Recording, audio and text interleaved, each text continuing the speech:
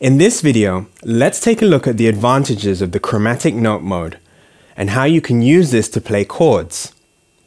To do this, I've also attached a MIDI keyboard via USB and let's just have a quick look at the setup before we get started.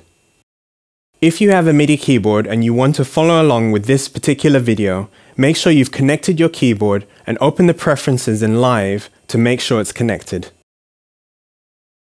You can play notes and chords on push using the pads. And the pads are usually set to the default in key mode as you can see in the display. Currently the key is set to C and the scale is major.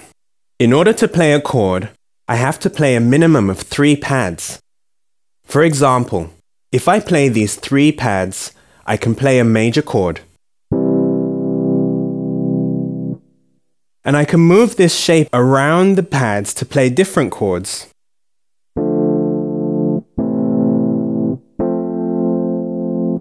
In the in-key mode, you can play any chords that consist of notes to the currently set scale, in this case C major. But just because you're playing the same shape doesn't necessarily mean you're playing the same type of chord. You can also play chords in the chromatic mode, so let's switch to that now.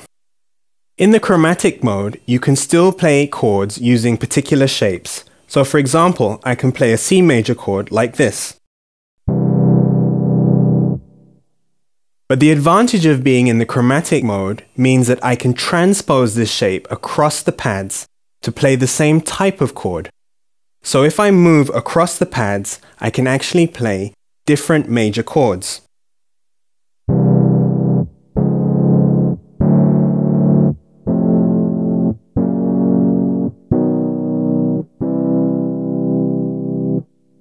So regardless of what shape I play on the pads to play a chord, I can transpose this shape across the pads.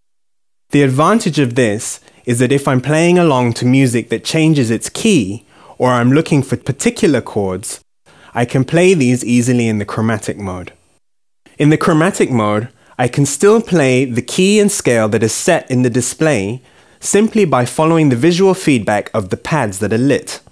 I can play the C major scale by simply playing the lit pads and by turning the encoder to minor, I can play the C minor scale by following the lit pads.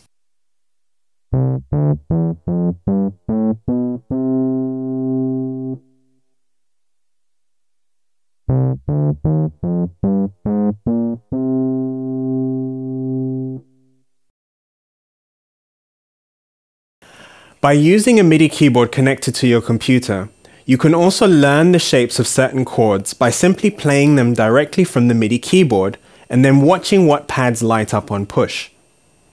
I'm going to play two chords on the keyboard and see which pads light up to learn the shapes of these chords.